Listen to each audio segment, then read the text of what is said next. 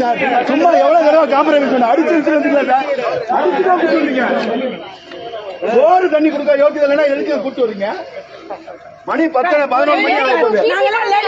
எங்களுக்கு ஒரு இல்ல சார். எங்களுக்கு என்ன சார் நியாயம் இருக்கு? எங்களுக்கு போலீஸ் அராஜகம்! போலீஸ்! அராஜகம்! போலீஸ் அராஜகம்! போலீஸ் அராஜகம்! திமுகவின் கைகூலிகள்!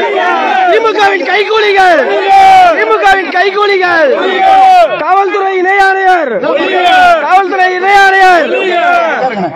டேய், எல்லாரும் உட்காருங்க. பாருங்க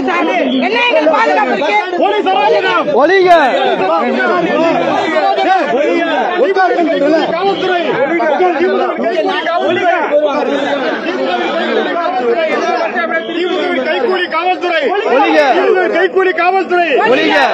கைக்கூலி காவல்துறை. திமுக அடியால் காவல்துறை. திமுக ரவுடி காவல்துறை. போலீஸ் அராஜகம். ஒளிக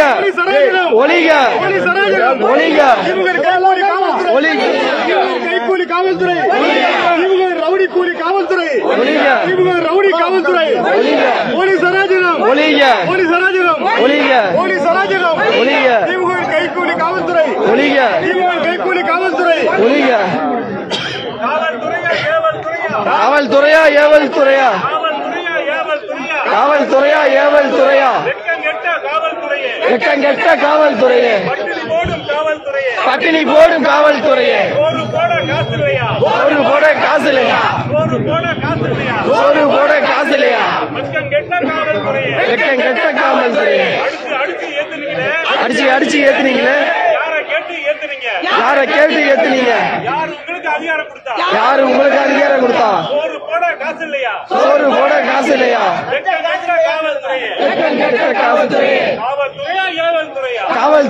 ஏவல் துறையா காவல்துறையா ஏவல் துறையா காவல்துறையே வெக்கங்கெட்ட காவல்துறையே. திமுக கைக்கூலி காவல்துறையே. ஒளி கண்டிக்கின்றோம் கண்டிக்கின்றோம். அவங்க ஆணையரும் உதவி ஆணையரும் வரட்டும். அப்புறம் போய்க்கான பழனிசாமி ஒரு தடவை உட்காருங்க சொன்னா எல்லாரும் உட்கார்ந்து ஒவ்வொருத்தருக்கும் தனித்தனியா சொல்ல முடியாது. பின்னாடி இருக்கீங்க.